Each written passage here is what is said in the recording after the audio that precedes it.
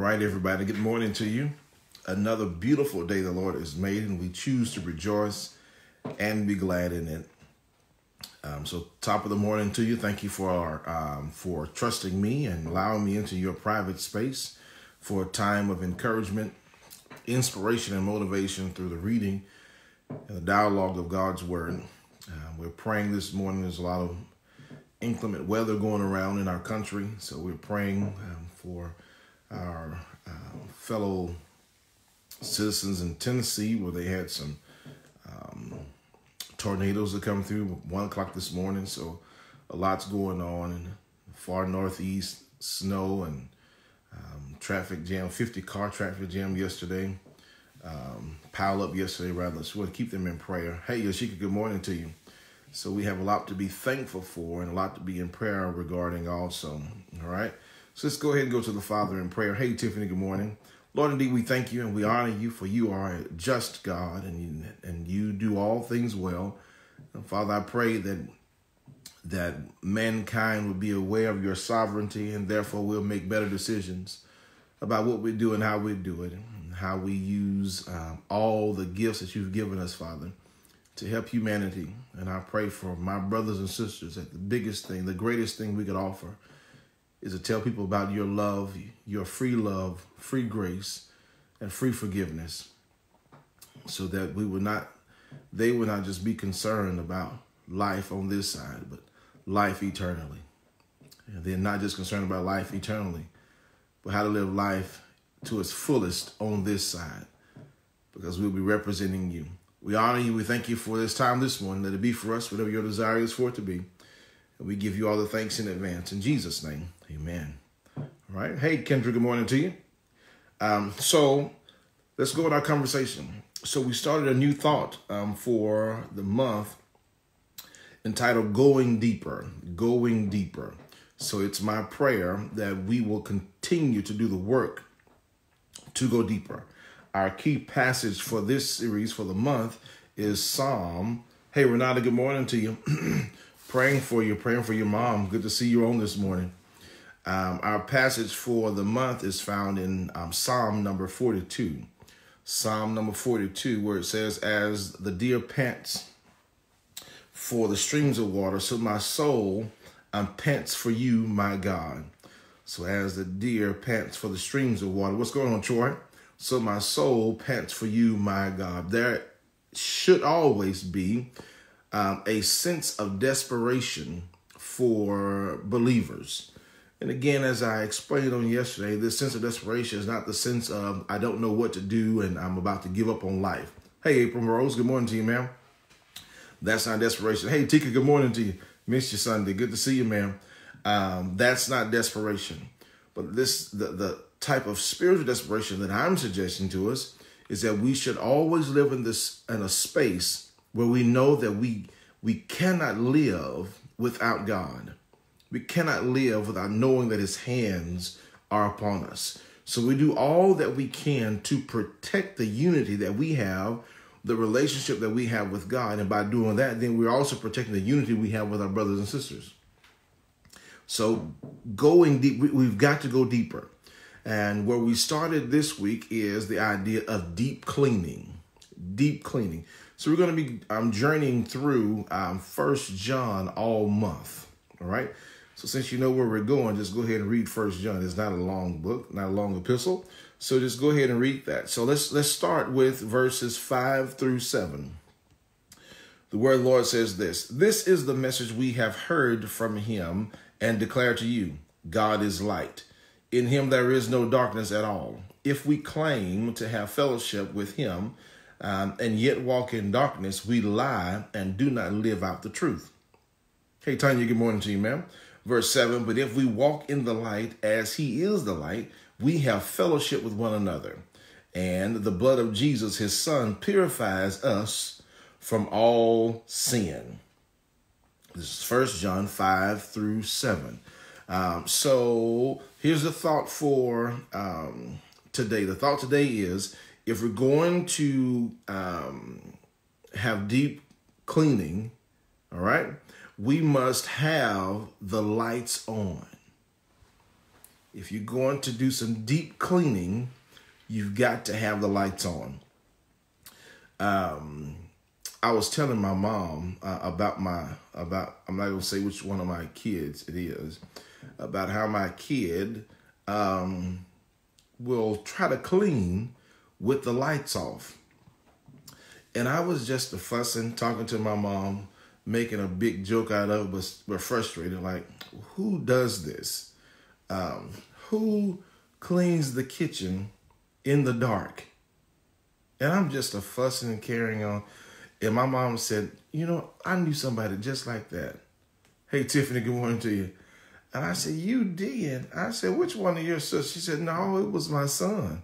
And I was like, Well, what? Who? She said, The one I'm talking to. Trying to clean in the dark. So when we turn the lights on, it's revealed to us in a much clearer way um, all of the spaces and areas of dirt that, that must be cleaned. So doing some spot cleaning is one thing. You know how you just you pick up along the way, you know, you're you're in, in the quest of finding what you're going to wear today. You just happen to put all of the clothes in the hamper and you just, you know, you kind of organize your closet. And that's just kind of some spot cleaning. But to do some deep cleaning, uh, I put three things on your mind yesterday. And I'll, I'll say them again. If we're going to do some deep cleaning, three things have to be on the table. Hey, Larry, good morning, sir. First one is it must be a personal desire.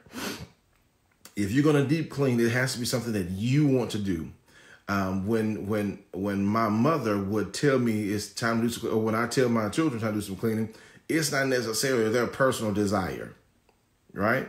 Because they have some other things they want to do. My son, um, he has some things he wants to do for sure, and they have nothing to do with cleaning. It's all about Beyblades or doing something else that's going to be productive for him. So there's no personal desire in it until I ignite that desire within him.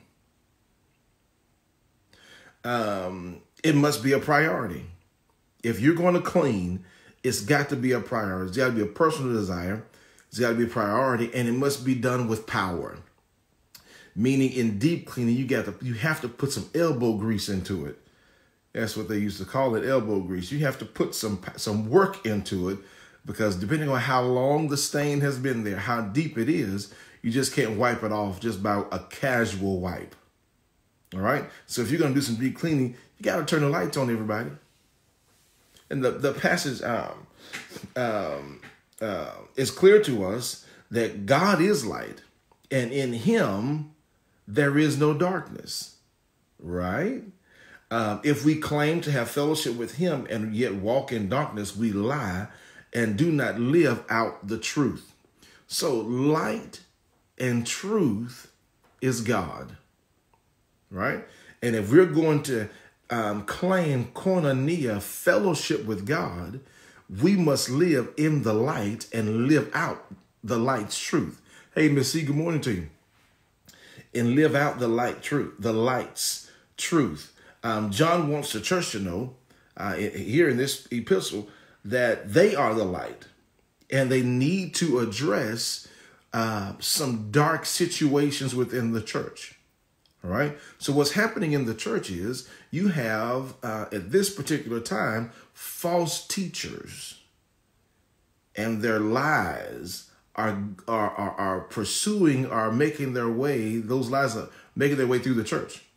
And so John wants the church to be aware that just because one claims to be a part of them, what they're saying is not a part of them. So the church needs to know what's going on. So now get this. Paul is not talking, this, this epistle is not to the world. This epistle to the culture, this epistle is to the church. Now, as we discussed on yesterday, um, uh, did I say Paul? I'm sorry. This um, John writes to the church. He writes to the church of Asia Minor. He is um, the pastor that Paul sends to um, lead the church in Ephesus.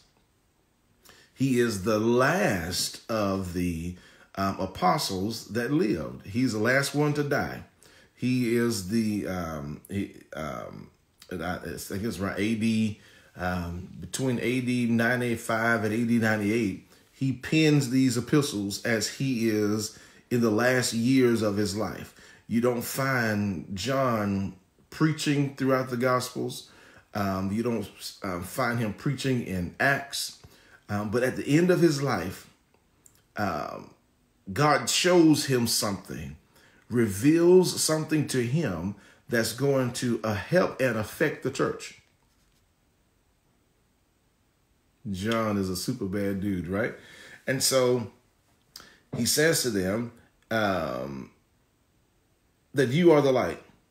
In in First Timothy six, it talks about that that, that God dwells um, in unapproachable light. Hey, Philip. Good morning, sir. Um, James one and seventeen is a beautiful text. Um, so what you're saying that this scripture is not. Yes, sir. Yeah, this is not figurative.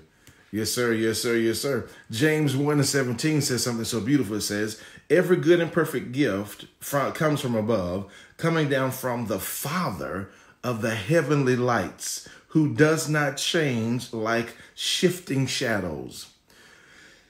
So, what we have to understand is that the light that is in us comes from God. So, just as we must turn the lights on to do deep cleaning, we are the light of the world, Jesus exclaims in Matthew 5. And so, therefore, our lights have got to be shining so that um, the cleaning that must be done within our own hearts, the cleaning that must happen within our churches, happens not in darkness, but in light. You see, if we leave the lights off, we give rodents and insects privilege to run around, run about, and do their little small biting that eat that that eventually causes expensive um, damage. If we if we if we try to do the life that God give, give, has given us in the darkness, we're doing the light that comes from the Father, the Father's light, a disservice. The light that Jesus has given to the world, we're saying that the light is not good enough. All right. And uh, um, in John 18 and 12, John writes this and says, When Jesus spoke again to the people, he said, I am the light of the world. Whoever follows me will never walk in darkness, but, but will have the light of my life. Everybody, that's why the great challenge is for us as believers is to trust in God all the way. And I understand because we we all live in live on this earth. So sometimes it seems like it can seem like um, living in the light, following the light, is not leading us anywhere. But honey, child, let me tell you, uh, uh, being in the light of God, being in koinonia, in fellowship with God, is the greatest, it's the best, it's the only place where you want to be. Because the moment you step outside of the light, now you're in the shadow of light. And shadow does not light up the space in front of you like light does. And so if we're going to walk in the light, we're going to walk in God, that means we got to walk in his word. Um, David said, Thy word is a lamp unto my feet, brings light, a, a light unto my pathway. So God's word gives us light, but are we reading it? We have these smartphones on our hips, in our pockets, in our purses. On those that that that, that smartphone is is uh, has more capability, more power than the the computers that got the first rocket ship on the moon. We have all of this stuff at our hand, right there in our hands.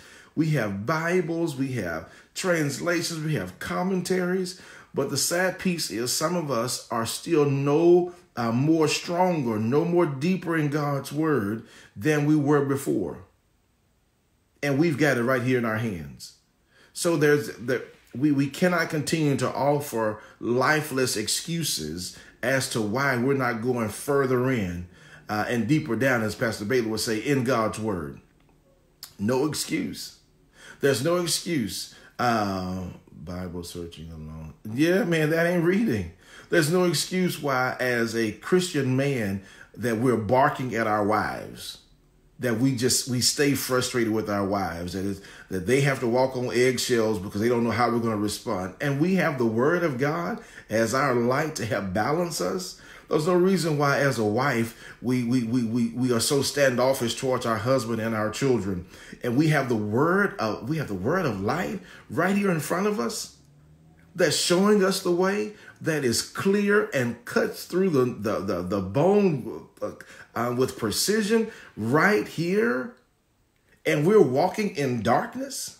Come on everybody. It's twinkle twinkle it, we we've got to we we've got to make the decision that we choose to do it God to do it God's way so that we can have the honor of God's type of response. All right? So turn the light on. Now the light could be for you today is to get into his word Get into his word more and not just, and we're going to see as, as John says later on, not just being hearers of the word, but being doers of the word, putting some action behind it. Uh, my dad would say some of us have a whole lot of hallelujah, but no do you hallelujah. Meaning we talk a real good game. I mean, wow. People walk away from us like, man, that dude right there is on it. But living it out, nah, just doesn't quite make it. No, and when and when and when the saints realize that you're not really a saint, you're you're you are an undercover ain't. No, we we we that cannot be the way we respond as the church of the Lord Jesus Christ, especially for all that we know of who God is, who what what Christ has done for us, and we're still making the conscious decision to walk in darkness. Some things have got to change, everybody. They just have to change. In John 9 and 5, there's the episode of uh, uh, the man that was blind and Jesus spits on the ground and makes makes mud of the of, the, of the clay and of the dirt and spit and puts on his eyes. He said, while I'm in the world, I am the light of the world. So what God does is God delivers this man out of darkness, out of blindness into light. And I want you to know the power of God still does the work today. Only God can deliver us out of this mental and spiritual darkness and allows us to step into his presence so that we can have we can live in the illumination of his of his person the, the the illuminating essence of god his glory. We can live in that space but it starts with you. We've got to make the conscious decision decision daily that we desire to do it god's way Wow, is that making sense for us? Um, Paul even picks this up in Ephesians 5, 8, 5 and 8 and, and, and talks about um, um, our lights, uh, our lives shining like lights uh, to be a witness to the world. Y'all, there's something about this light thing. Something about this light thing that should be drawing us into God. When we are drawn in by darkness, then everything, all the decisions that we make can now be questionable. We're going to talk about that even more so next week. But again, the passage says, um, God is light in him, there is no darkness at all.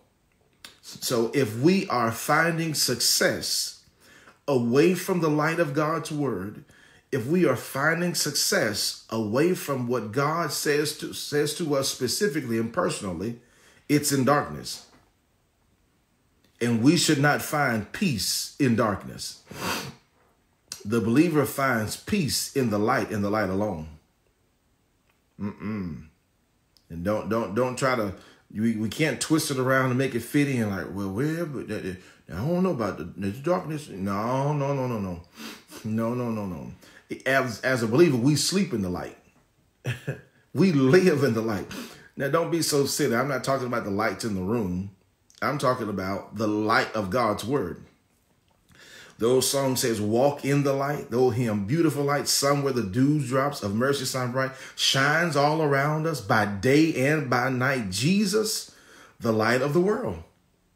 Everything we do must be above board, it must be done in the light. Is that making sense for us today? All right, it must be done in, excuse me, in the light. Um, now get this. When we are when we are cleaning, there are how would I say there are different products, different solutions that we use for different um, spaces, different types of material. So, like when it's time for deep cleaning and and you have hardwood floors, uh, you just don't spot clean that. And I know when it's time to do some real cleaning because my wife um, says sends me to the garage to get that blue bucket.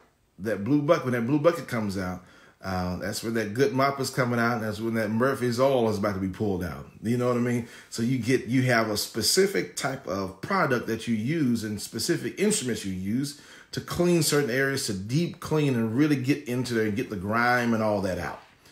Now, when it comes to cleaning our lives, we don't have to have a different product for it. God doesn't use a different product. Um, the scripture says, um, but if we walk in the light as he is the light, we have fellowship with one another. Here it is. The blood of Jesus, his son, purifies us of all sin. Come on, y'all know where I'm going with this. So, the only product, the only substance that cleanses us of all of our sins is still the blood of Jesus. All right? So, the blood of Jesus, the atoning work of Christ, has satisfied the debt of our sins. And the blood of Jesus still runs from Calvary to wherever you are today. His blood is still working and it purifies us, it cleanses us. Um, what Christ has done, he has become what, what Paul declares as the propitiation of sin. So Christ has taken the place of us on the cross, and he has satisfied um, the, the, the debt of our lives. Now, get this although Christ has satisfied the debt, we still have to deal with the, the responsibilities of what we've done. We got to deal with the ramifications of it. But get this, it has been paid. Now you got to lift your hands and tell the Lord, thank you for paying my debt for me. Yes, ma'am. Isn't that, isn't that a beautiful piece of the song? Uh, the blood that gives me strength from day to day, it will never ever lose its power. Blood of the blood of Jesus is still working. So there's not a product that that satisfies um, a a stealing sin. There's not a, a, a for a stealing debt. There's not a murdering debt that something cleans that up. There's not a lying debt to clean that up. Uh, what's going on, Reese? Good morning to you, sir. Uh, yeah, man. The blood of Jesus has satisfied the debt of all of our sins. And for this reason, we should never want to walk in darkness ever again, but we should find peace and joy living in the light. Hey, Shamika, good morning to you, sis. Good to see you. So we should find the joy we need in light. And again, we're talking about deep cleaning. And the only way we can do deep cleaning properly is by turning on the light. you cannot clean adequately in the darkness you have to turn on the light. And again, here in First John, um, John declares, um, "This is the message that we have heard from Him and declare to you: God is light, and in Him there is no darkness at all. If we claim to have fellowship with Him and yet walk in darkness, we lie and do not live out the truth. But if we walk in the light, He is a light." we have fellowship with one another, and the blood of Jesus, his son, purifies us from all sin. All right, everybody, my time is up. So I pray that you're encouraged today to know that the work that must be done is done in the light and it has been satisfied through the blood of Jesus Christ. Lord, we thank you for our time this morning. Thank you for being reminded that your blood is still at work and what Christ has done, what God has done in igniting light and love for us by sending Jesus Christ to the world, and what we have done by accepting the example of Christ, accepting the, the, the, the, love and the death of Christ, light now lives in us. And that light comes forth, it manifests through your word, it manifests through personal revelation. And so now we have the decision to make will we trust the light or will we trust the darkness? So, Father, we choose to walk in the light. Thank you for uh, reminding us of the joy that we have in our salvation. That we don't have to live this life in darkness, but you have given us the illumination of your word, the illumination of your essence um, to carry out the things of our lives. So we thank you, we love you, and we bless your name. From the rising of the sun to the setting of the same sun, it's your name that's worthy to be praised. So, Father, we thank you and we um, pour our hearts out to you. We live vulnerably in your presence, Father. Father, for your usage on today. And as we leave our homes, and some of us are already driving, going into the marketplace for the day, let your light shine and guide us, Father, and we'll trust you for the journey. Lord, bless us and keep us. May your face shine upon us and be gracious to us. Lift your countenance upon us and give us your peace. In Jesus' name, amen. All right, everybody. Thank you so much for being on. Um, yes, ma'am. There it is, Shamika. Um, thank you for your support. We look forward to seeing you tomorrow for another time of Mac in the morning. Have a fantastical day. Don't forget, if you want to see my favorite person, you know what to do. Just turn around and look in the mirror. Have a great day. All right, Larry. We'll see you then. All right. Bye bye.